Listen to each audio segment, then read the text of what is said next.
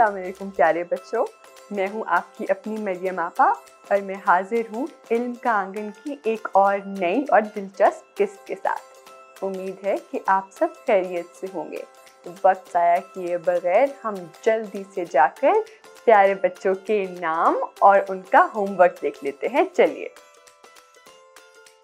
Homework करके हमें इस दफ़ा बहुत सारे बच्चों ने अपने नाम भिजवाए हैं। उनमें से कुछ बच्चों के नाम हैं, अलीम अकरम खानेवाल से, अली बहावलपुर से, असमा अरशद झंग सदर से, आयशा फातिमा गुजरावाला से, आयशा नूर सादिकाबाद से, फैसल गिलगित बल्तिस्तान से, फातमा शहजाद सियालकोट से, हुजैफ़ा मियाँवाली से, जवेरिया बतूल भी मियाँवाली से, किन्जा मुजफ्फराबाद से, मरियम लाहौर से, मीरब फातिमा बूरेवाला से, मिनाहिल सईद लाहौर से उमर शहजाद सयालकोट से और रज़ा लिया से, वकास अली सादिकाबाद से और ज़ियाउल हसन पिशावर से। शाबाश बच्चों, ऐसे ही होमवर्क करते रहिएगा।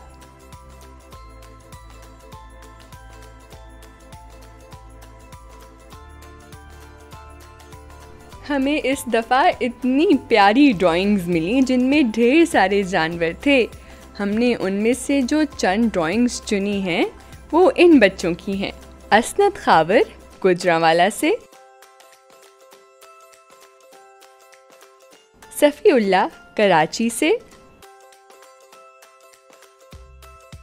अबीहा अदनान, फैसलाबाद से। फातिमा शहजाद, सियालकोट से। हुजैफा जमील जईम भट्टी, लाहौर से। मनाहिल हुसैन, रावलपिंडी से। गुलाम खदीजा। मनाहम कराची से। जैद रहमान, लाहौर से। जिन बच्चों ने इस दफ़ा हमें अपने शहर का नाम लिखकर नहीं भेजा, वो अगली दफ़ा ड्राइंग के साथ जब अपना नाम लिखें तो शहर का नाम भी ज़रूर लिखें। शाबाश बच्चों।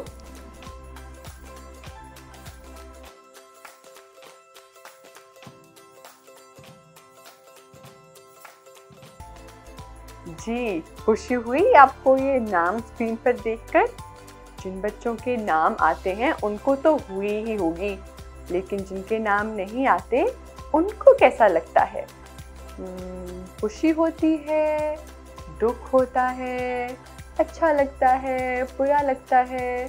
सोचा है आपने? वैसे हमें दूसरों की खुशियों में हमेशा खुश होने की कोशिश करनी चाहिए। ये अच्छी बात है और हमारा दिल भी इससे और बड़ा होता है। वो और मैं इन सब बातों में भूल ही गई कि हमने वर्जिश भी करनी है। चलिए जल्दी से चलकर वर्जिश कर लेते हैं।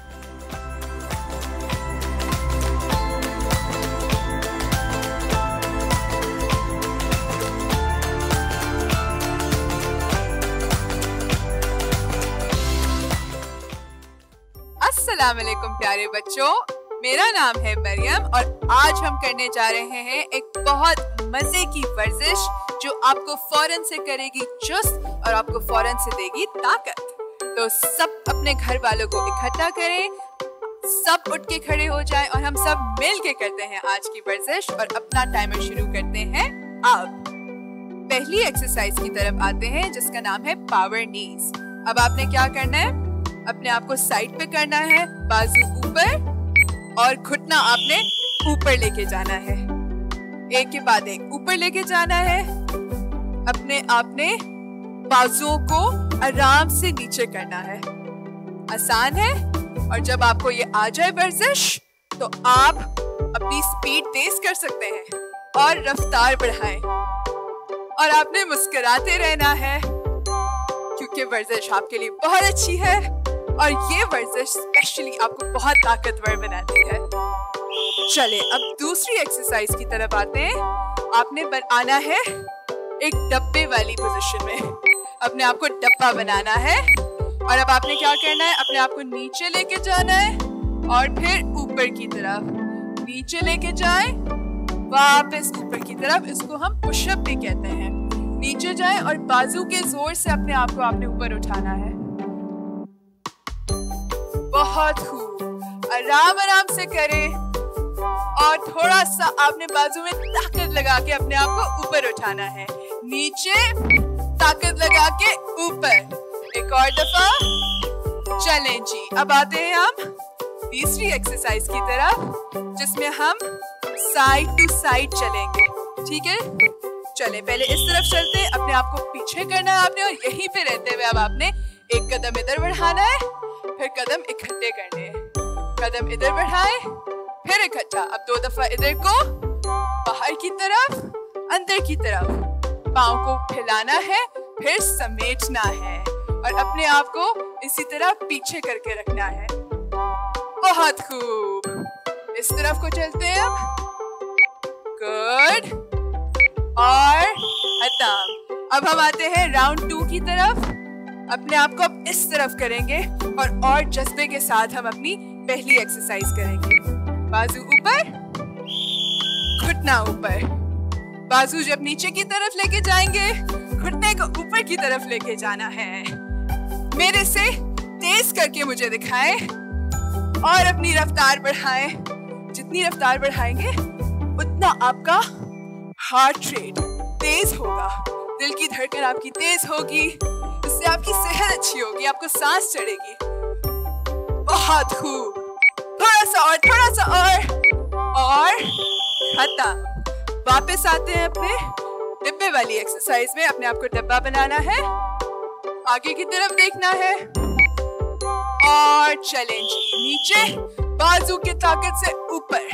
जब आप ऊपर को आए, आपने ज़मीन को धक्का देना है। तो नीचे और धक्का दे के ऊपर। नीचे धक्का दे के ऊपर। कितनी दफ़ा कर सकते हैं? दस दफ़ा आप मुझे करके दिखा सकते हैं? दस से ज़्यादा जो भी बच्चा करेगा, वो आज का विनर होगा। चले। थोड़ा सा और। बहुत टाइम है आपके पास। और आते हैं अब हम अपनी उसी एक्सरसाइज पर जिस पे हमने दाई तरफ़ और बाई तरफ़ चलना है। पहले पाँव फैला के खड़े हो। पीछे करें अपने आप को। पाँव समेटना है, फैलाना है। समेटना है, फैलाना है। अब इस तरफ़।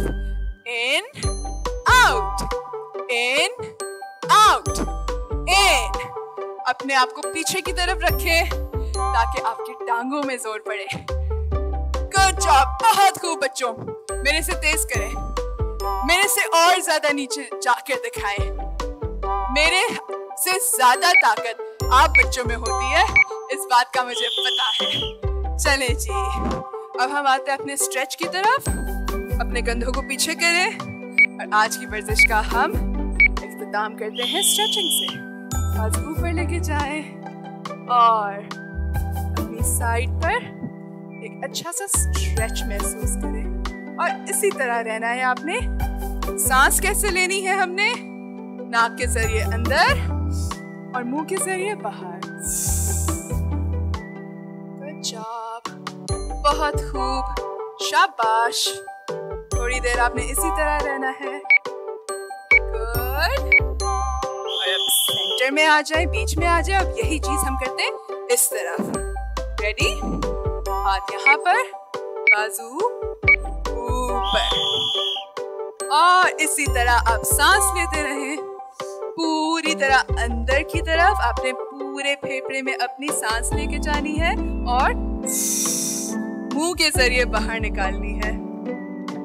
इससे आपकी सेहत अच्छी होती है। आप बच्चों में और ज़्यादा ताकत आती है। आप चुस्त हो जाते हैं रवाना हो जाते हैं और अपने दिन का अच्छा सा आगाज़ कर सकते हैं। और वापस ऊपर आ जाइए और अपने लिए बजाएँ तालियाँ। बहुत खूब प्यारे बच्चों, बहुत अच्छी वर्जिश की सबने। अब फ़ौरन से जाके आपने हाथ धोने हैं। अपनी सफ़ाई का ख्याल रखना है। पानी पिए और खुश रहे। मैं आपसे मिलूँगी अगली किस्त में। अल्लाह हाफिज। हमेशा की तरह मैं थोड़ी थक गई हूँ, लेकिन मज़ा तो आया है। वैसे बच्चों, ये वर्जिश करके मुझे वो वक्त याद आता है जब मैं अपने दोस्तों के साथ पकड़म पकड़ाई खेलती थी। तब भी थकावट तो होती थी, लेकिन मज़ा बहुत आता था। मैं काफ़ी दिन से अपने दोस्तों से नहीं मिली। ये सोचकर मैं दुखी होती हूँ, क्योंकि मुझे वो याद आते हैं। ओह, आज की कहानी में भी कोई दुखी है? चलिए कहानी आंटी सानिया के पास चलते हैं और देखते हैं कि कौन दुखी है और क्यों दुखी है।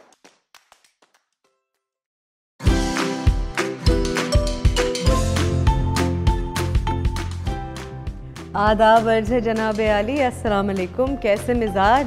कैसी गुजर रही हैं गर्मियाँ? हम्म, हम्म, समझती हूँ समझती हूँ। लेकिन अब क्या करें? वैसे गर्मियों में तो दिल चाहता है कहीं पिकनिक पे जाया जाए लेकिन खबरदार जो कोई घर से निकला सब घर में रहेंगे। कहानी आंटी से कहानी सुनेंगे। कहानी का वक्त है। और आज की कहानी है मोनी और नोनी जिसकी मुसनफ़ा है राबिया मोइन और मुसवरा है मुजना रुखे और ये जो है मोनी और नोनी ये भी पिकनिक पर तो नहीं गए लेकिन नकल मकानी करके एक और जगह चले गए। नकल मकानी? कैसे बताऊँ मैं आपको क्या होती है? हम्म, एक नई जगह जाकर रहने लगे। तो जनाब मोनी और नोनी की कहानी है कुछ यूँ। मैं मैं मैं मैं आमिर और सीमा की बकरी ने दो प्यारे प्यारे बच्चे दिए थे। और वो दोनों उन्हें खूब प्यार करते थे। लेकिन अब्बू ने उन्हें बताया कि वो इन बच्चों को किसी फार्म को बेच देंगे क्योंकि घर में तो उन्हें रखने की जगह थी नहीं। ओए, ओए, अम्मी हमें कहीं नहीं जाना आपके बगैर। मोनी और नोनी ने कहा अरे नहीं बच्चों उदास ना हो। आम पर रहने में तो बहुत मज़ा आता है।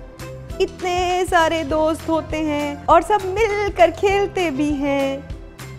बस दोनों मिलजुल कर रहना और एक दूसरे का ख्याल रखना। फिर एक दिन एक वैन आई और मोनी नोनी को उनके नए घर ले गई। मोनी तो फार्म पर पहुंचकर बहुत खुश हुई।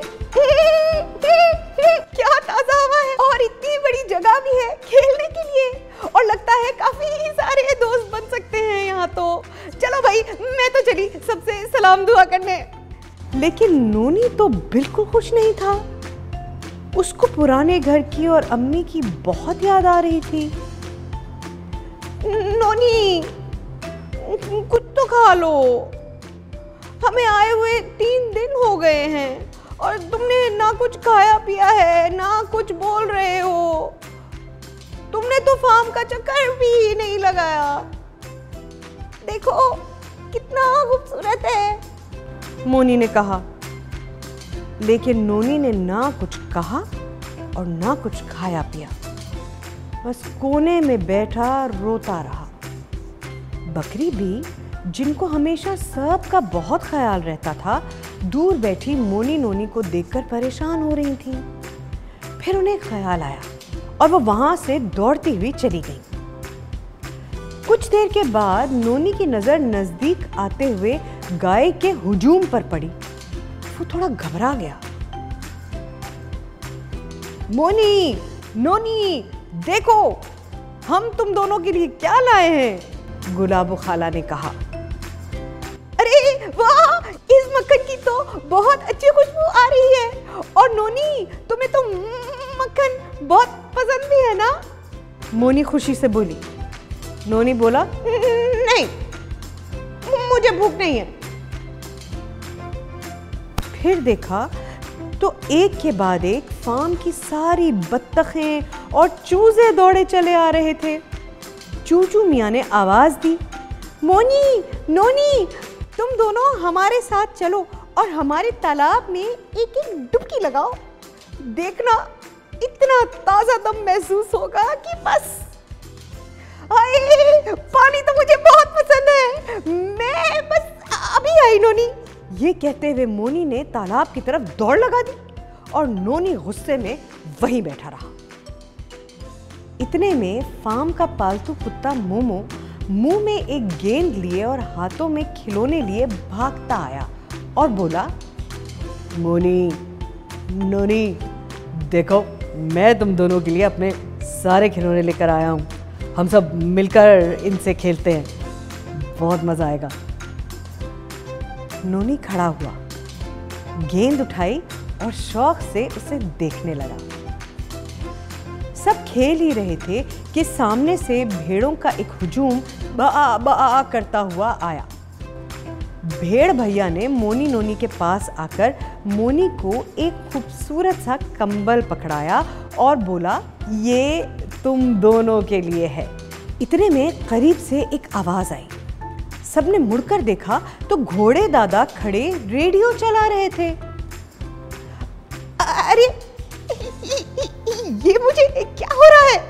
नोनी ने खुद से बातें करते हुए कहा। नोनी को मौसीकी का बहुत शौक था। उसके हाथ पाँव तो खुद से ही हिलने लगे। बस, फिर तो नोनी बिना सोचे हिलने लगा, मटकने लगा, हंसने लगा। नोनी का नाच देखकर सब जानवर हँसी से लोट पोट होने लगे। इसके बाद तो एक मेले जैसा माहौल बन गया। सब नाचने गाने भी लगे और बकरी भी का लाया हुआ खाना भी खाने पीने लगे। सभी को बहुत मज़ा आया। शाम को मोनी और नोनी ने सबका बहुत खुशी खुशी शुक्रिया अदा किया। फार्म उनका नया घर तो बन गया था, लेकिन अम्मी की याद उनको अब भी बहुत आती थी। वैसे मेरा ख्याल है अम्मी को उनके साथ ही भेजना चाहिए था। आपका क्या ख्याल है? अरे वाह ये मोनी और नोनी को आखिर में हंसता खेलता देखकर मुझे तो बहुत खुशी हुई।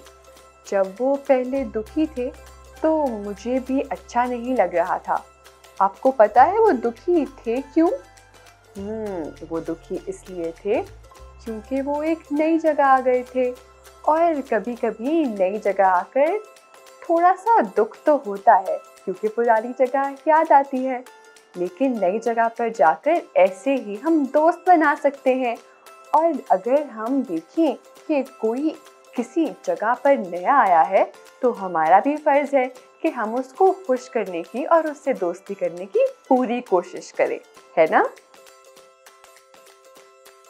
तो वैसे ये दोनों घर छोड़कर आए कहाँ थे? और इनकी जगह बदली क्यों? हम्म ये तो मुझे नहीं पता। लेकिन आपको पता है कि इंग्लिश में कुछ ऐसे अल्फाज हैं जो हमें बताते हैं कि कोई चीज़ कहाँ है उसकी क्या जगह है और ये अल्फाज होते हैं prepositions तो चलिए आज हम इंग्लिश में prepositions पढ़ लेते हैं Prepositions. Where is the ball? On the box. In the box. under the box. On, in, under. ऐसे अल्फाज हैं जो चीज़ों की जगह बताते हैं। ऐसे अल्फाज को प्रेपोजिशंस कहते हैं। प्रे पो जे शंस प्रेपोजिशंस आए ऐसे कुछ और अल्फाज सीखते हैं। ओहो ये जग्गू चाचा को क्या हुआ? सलाम जग्गू चाचा। हाँ, वालेकुम सलाम जो जो बेटा। एक तो ये अखबार वाला सुबह सुबह आ जाता है और हर रोज अखबार किसी नई जगह पर फेंक जाता है। अब सुबह से मेरा चश्मा भी गायब है। मुझे तो नज़र ही नहीं आ रहा मेरा अखबार किधर है। अच्छा मैं तो स्कूल के लिए तैयार होने जा रहा हूँ। ओहो भाई मेरा तो चश्मा भी नहीं मिल रहा ना अच्छा मैं ढूंढता हूँ आपका अखबार Jojo goes up the stairs. आहा मिल गया मिल गया अखबार आपकी गाड़ी के ऊपर पड़ी हुई है जग्गू चाचा The newspaper is on the car. Jojo comes down the stairs. अरे जग्गू चाचा आपका चश्मा तो पॉकेट में है हैं? The glasses are in the pocket. Prepositions show the position of a noun. ऐसे अल्फाज जो किसी नाउन की जगह बताते हैं हैं खाला जी बॉल दे दे किधर है बॉल वो इधर है The ball is here. ये लो बेटे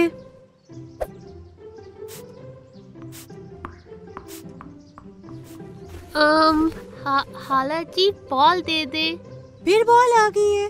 किधर है बॉल वो बॉल उधर है। The ball is there. एक दिन तो हद ही हो गई। खाला जी ने अभी अभी गैराज में झाड़ू मारा ही था कि ओ ओ ओ अरे अरे ओ ये क्या हो रहा है? आ! खाला जी बॉल दे दें। हाँ हाँ वो तो मैं देख ही रही हूँ कि बॉल ही बॉल फेंक रहे हो तुम लोग। ये भी कोई बात हुई? मैंने अभी सफ़ाई की थी। माफ़ करें खाला जी बॉल्स पहुंचानी है। जरा मदद कर दें? अच्छा भाई किधर है बॉल खुद ही लो जाके। The ball is near the cat the ball is behind the bin the ball is under the car Prepositions show the position of a noun. ऐसे अल्फाज जो किसी नाउन की जगह बताते हैं। एक दो तीन चार ओए बबलू हम्म। मैं तुम्हें बताऊँगा कि कौन किधर छुपा है। ठीक है। ओए Bablu Pinki is behind the rose bush पकड़ लिया। ओ हा हा हा हा। पिंकी जोजो इज़ नीड द फाउंटेन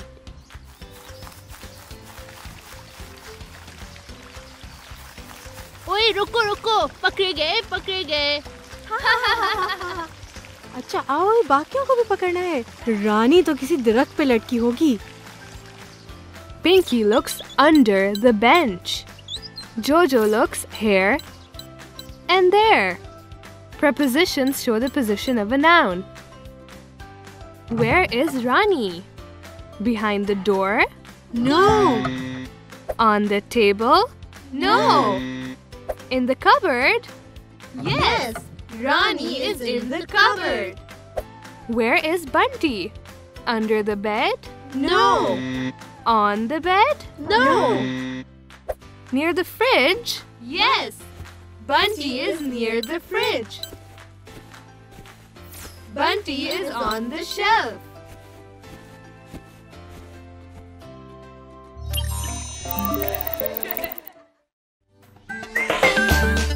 अभी प्ले स्टोर से तालीम आबाद डाउनलोड करें। हम्म ये तो आसान था। अब मैं बता सकती हूँ कि I am in a room I live in my house Moni and Noni went to the farm अरे वाह, ये तो काफ़ी आसान है। वैसे आपने ये सोचा है कि वो फार्म पर क्यों रहते हैं? और हम अपने घरों में क्यों रहते हैं? इसका जवाब ये है कि हर जानदार चीज़ का अपना घर होता है। जैसे कुछ चीज़ें ऐसी हैं जो जंगल में मौजूद हैं, कुछ चीज़ें ऐसी हैं जो पानी में।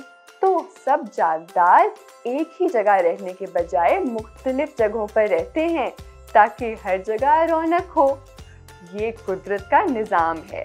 तो आज हम यही देखते हैं कि ये मुख्तलिफ़ जगहों पर मुख्तलिफ़ चीज़ें रहती कैसे हैं और इनको क्या कहते हैं? तो आइए हैबिटेट के बारे में कुछ सीखते हैं।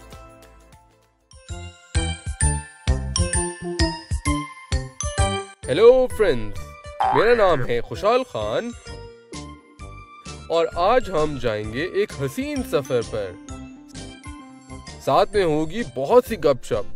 जिसमें मैं आपको बताऊँगा दुनिया के बारे में कुछ फन फैक्ट्स तो क्या आप मेरे साथ इस सफ़र पर चलने के लिए तैयार हैं?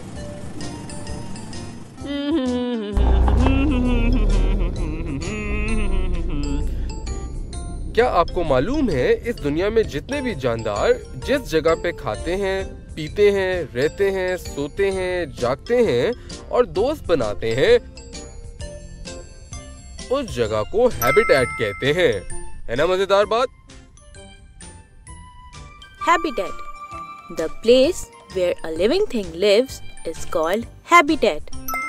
मस्कन वो जगह जहाँ जानदार रहते हैं मस्कन कहलाती है Habitat is a place where a living thing can find food, shelter, protection and mates habitat में चार चीज़ें शामिल हैं।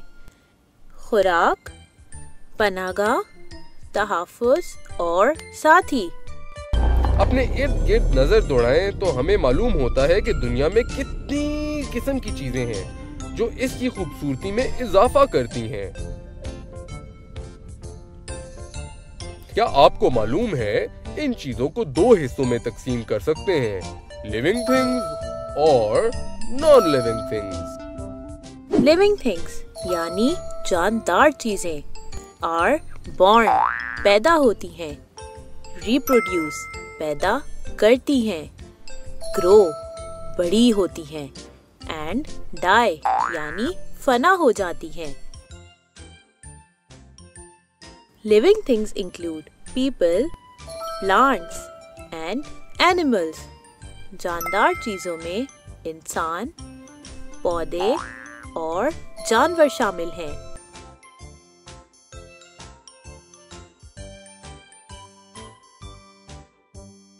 Living things need food, air, water and shelter to survive. जानदारों को ज़िंदा रहने के लिए खुराक हवा पानी और पनागाह की ज़रूरत होती है नॉन लिविंग थिंग्स यानी बेजान चीज़ें आर नॉट बॉर्न पैदा नहीं होती। डू नॉट रिप्रोड्यूस पैदा नहीं करती। डू नॉट ग्रो बड़ी नहीं होती। एंड डू नॉट डाई यानी फना नहीं होती। Non living things can be natural और मैन मेड बेजान चीज़ें कुदरती या इंसान की बनाई हुई होती हैं।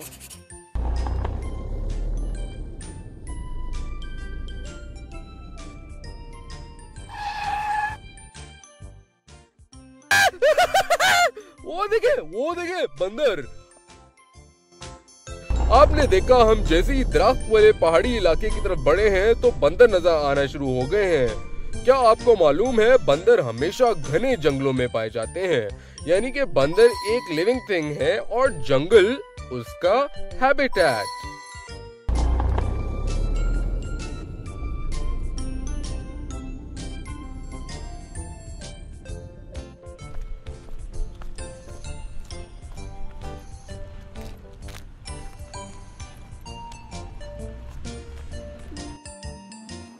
लाला क्या खाओगे? लाला क्या? कुछ अच्छा सा ला दो कि मज़ा आ जाए। मेरे तो पेट में चूहे दौड़ रहे हैं। रोज ऐसे ही खूबसूरत नज़ारों के साथ खाना मिले तो क्या ही बात हो। उफ, ये ठंडी ठंडी हवा के साथ धूप की गर्माइश और साथ में बहते हुए पानी की आवाज़। आ मज़ा ही आ जाए।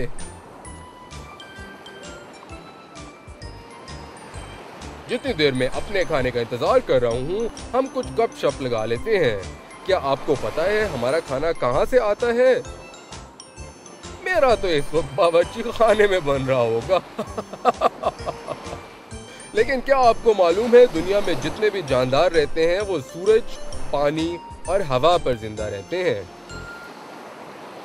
Life on earth is possible due to sun air and water ज़मीन पर ज़िंदगी, सूरज, हवा और पानी की वजह से मुमकिन है the sun is the biggest source of heat and light on earth which helps the plants make its food.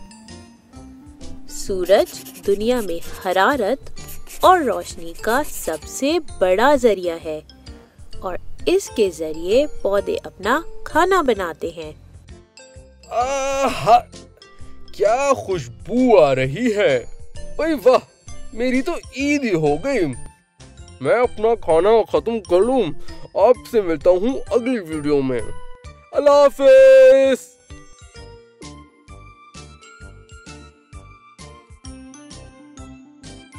Habitat The place where a living thing lives is called habitat. Habitat is a place where a living thing can find food, shelter, protection, and mates. Living things are born, reproduce, grow, and die.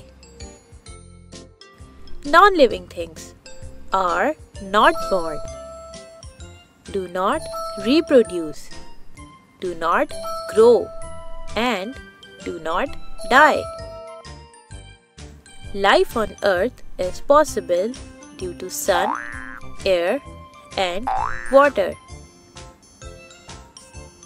The sun is the biggest source of heat and light on earth, which helps the plants make its food.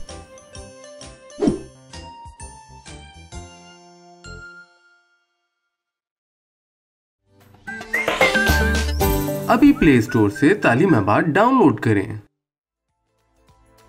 देखा बच्चों, मुझे तो ये देखकर लगा जैसे मैंने पता नहीं कहाँ कहाँ की सैर कर ली ये देखकर मेरा दिल बहुत खुश हुआ और मैंने शुक्र भी किया कि मुझे ये देखने का मौका मिला और घर बैठे ही मेरी सैर हो गई। वैसे आपको पता है कि अगर हम दिल से किसी चीज़ का शुक्र अदा करें तो हमारी खुशी और ज़्यादा हो जाती है। आप शुक्र अदा करते हैं। लोगों का, अल्लाह का, अपने बहन भाइयों का, दोस्तों का, अम्मी अबू का। हमें चाहिए कि जब भी कोई हमारे लिए कुछ करे, हम उसका शुक्र अदा करें और उन चीज़ों का भी शुक्र अदा करें जो हमें कुछ किए बगैर ही मिल गई। या कम मेहनत करके मिल गई, या बहुत मेहनत करके भी मिल गई। लेकिन मिली तो हमें वो सब चीज़ें रोज़ नहीं तो कभी कभी तो ज़रूर गिननी चाहिए। आज हम यही कर लेते हैं। मैं आपको स्क्रीन पर वो सब चीज़ें दिखाती हूँ, जिनके लिए मैं दिल से शुक्रगुजार हूँ। फिर आप भी ये कीजिएगा, देखिएगा, करके आपको बहुत खुशी महसूस होगी। मैं जिन चीज़ों के लिए शुक्रगुजार हूँ, उनमें से कुछ चीज़ें हैं, मेरा घर। मेरे पास जो खाना है वो भी, चाहे वो मेरी पसंद का ना हो, लेकिन खाना तो है। इसके अलावा मेरे अम्मी अब्बू मेरा बहुत ख्याल रखते हैं। उनके लिए भी मैं शुक्रगुजार हूँ। मैं अपने बहन भाइयों के साथ जब चाहूँ खेल सकती हूँ।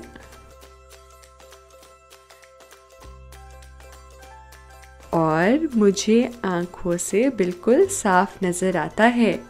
जिसम के सब हिस्से भी अल्हम्दुलिल्लाह बिल्कुल ठीक चलते हैं। ये सब बहुत बड़ी बातें हैं।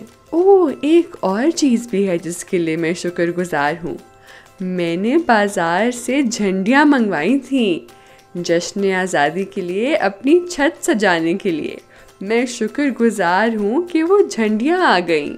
इन झंडियों से अब मेरी छत बहुत प्यारी लगेगी। बस एक छोटा सा मसला है। वो ये है कि ये मेरी छत पे पूरी नहीं आ रही। छत ज़्यादा बड़ी है और झंडियाँ कम हैं। तो ये तो थोड़ी परेशानी की बात है, लेकिन मैं फिर भी खुश हूँ कि मेरे पास कुछ झंडियाँ तो हैं।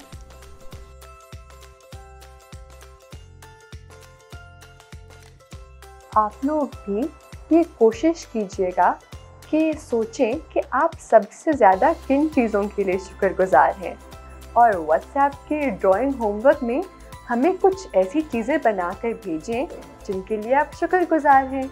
हो सकता है कि वो आपके घर वाले हों, खाना हो, आपकी आँखें, नाक, हाथ, कान, घर, कुछ भी हो सकता है। आप हमें उनमें से किसी भी चीज़ की ड्राइंग बनाकर व्हाट्सएप कर दें। ड्राइंग्स भेजने के लिए हमारा व्हाट्सएप नंबर है सिफर तीन सिफर एक एक एक नौ, दो तीन एक नौ। दोहरा रही हूँ। सिफर तीन सिफर एक एक एक नौ, दो तीन एक नौ। इस नंबर पे आप बच्चे हमें ड्राइंग्स बनाकर व्हाट्सएप कर दीजिए। होमवर्क के लिए नाम एसएमएस करने का जो नंबर है, वो है सिफर तीन सिफर सिफर सिफर छ सिफर, दो दो चार सिफर। होमवर्क करके हमें अपने नाम एसएमएस करने का नंबर दोहरा रही हूँ। सिफर तीन सिफर सिफर सिफर छ सिफर, दो दो चार सिफर। नाम एसएमएस करते हुए शुरू में लिखिए आई एल एम इल्म। बच्चे का नाम, शहर और उम्र।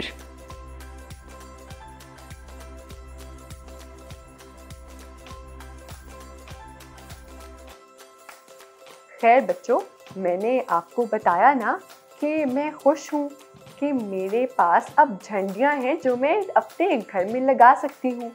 लेकिन मसला ये है कि वो झंडियाँ थोड़ी कम हैं और सारी छत पर लग नहीं सकती।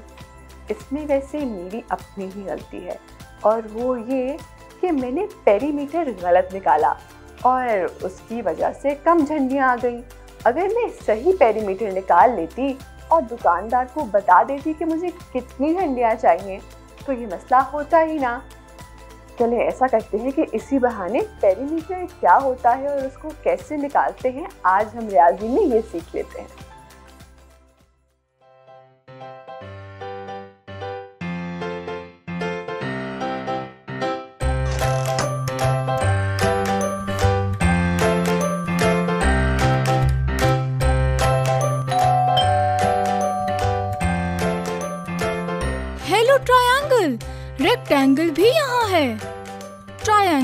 चलो वॉक करने चलते हैं। झील पार्क चलते हैं। वो स्क्वायर शेप का है।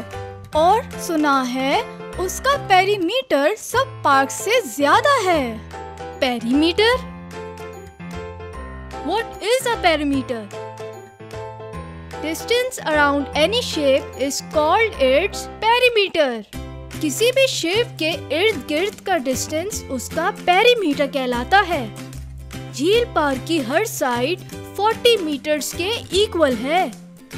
And to calculate a perimeter we add measurements of all sides तो 40 को 4 टाइम्स ऐड किया तो बना 160 मीटर्स इस तरह मुझे पता चला कि झील पार्क का पेरीमीटर है 160 metres Take the square, cut out, and calculate its perimeter with your friend.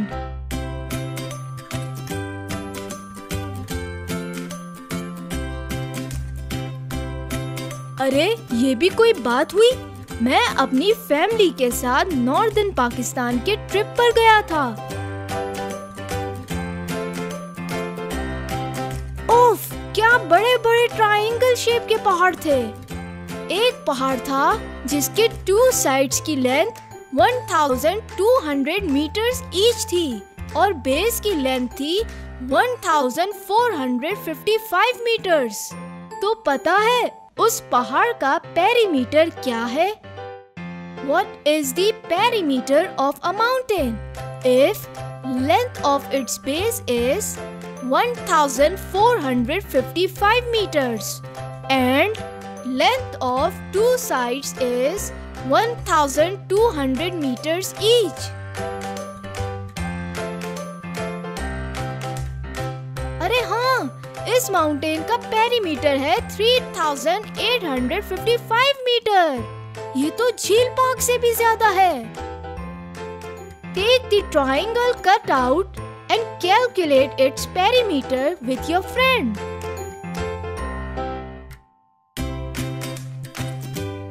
wow चलो प्लान चेंज आज बहुत गर्मी हो रही है। स्विमिंग करने चलते हैं। Good idea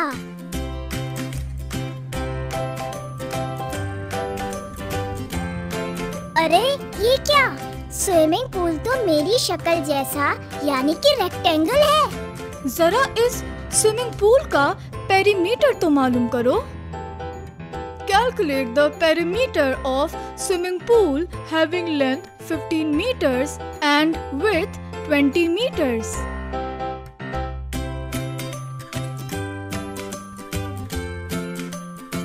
Excellent! Is swimming pool ka perimeter hai 70 meters. Woohoo! Now, take the rectangle cut out and calculate its perimeter with your friend.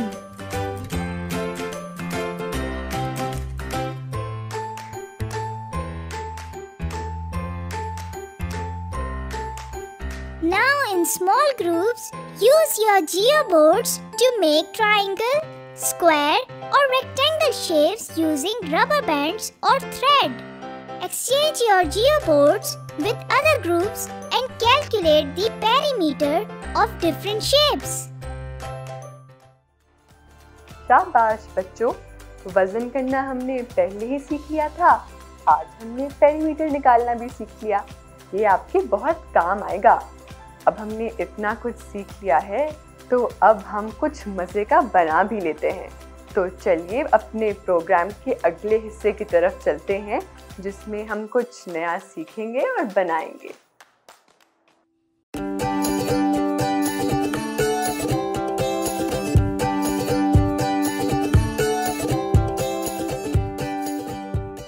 वालेकुम बच्चों। ऐसा बहुत बार होता है कि हम अपने किसी अज़ीज़ को तोहफ़ा देना चाहते हैं, लेकिन हमारे पास उस तोहफे के लिए कोई रैपिंग पेपर या गिफ्ट बैग नहीं होता है। ऐसे मौक़ों पर हम घर में मौजूद पुराने अखबार का इस्तेमाल करते हुए किसी भी तोहफे को रैप कर सकते हैं और उसे खूबसूरत भी बना सकते हैं।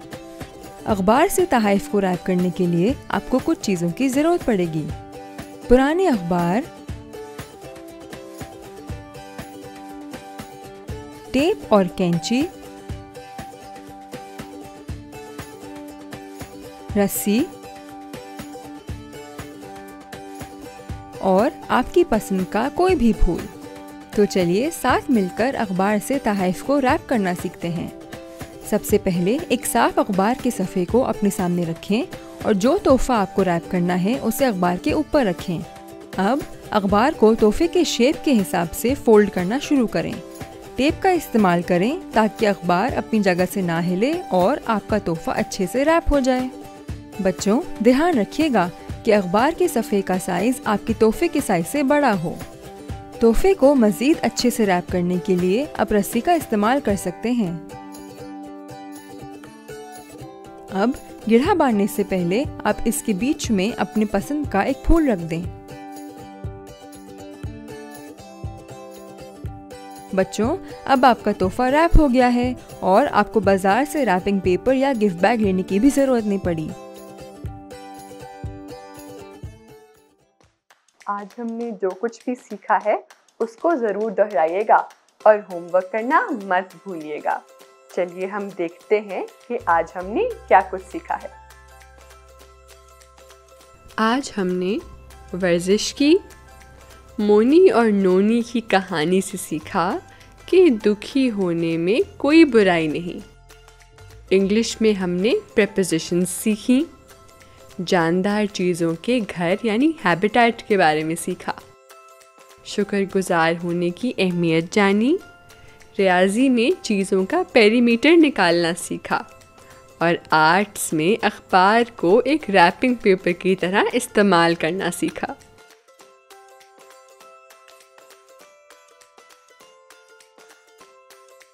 आज का होमवर्क ये है कि आपने स्क्रीन पर दी गई जानदार चीज़ों की हैबिटेट लिखनी है। ये चीज़ें हैं मछली, हाथी,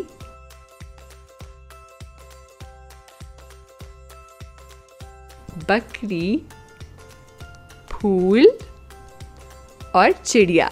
आपने बताना है कि ये चीज़ें कहाँ रहती हैं।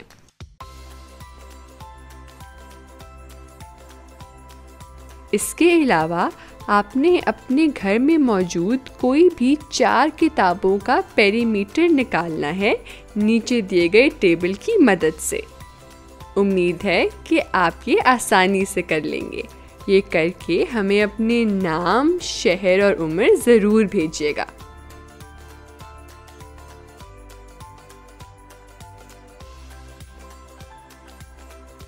ड्राइंग्स भेजने के लिए हमारा व्हाट्सएप नंबर है सिफर तीन सिफर एक एक एक नौ, दो तीन एक नौ।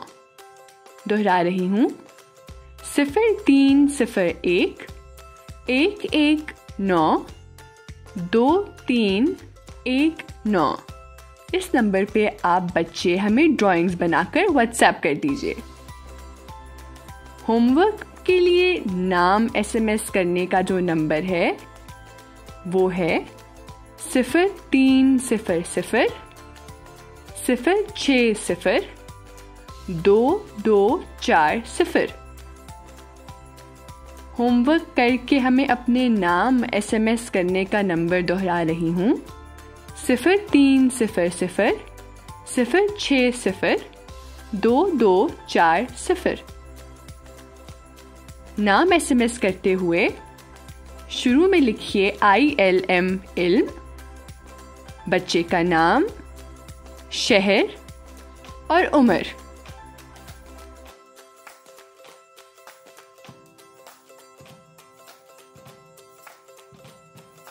मैं आपकी ड्राइंग्स का इंतज़ार करती रहूँगी। मुझे अब इजाज़त दीजिए। आपसे मिलती हूँ अगले इतवार। दुआओं में याद रखिएगा। अल्लाह हाफ़िज़।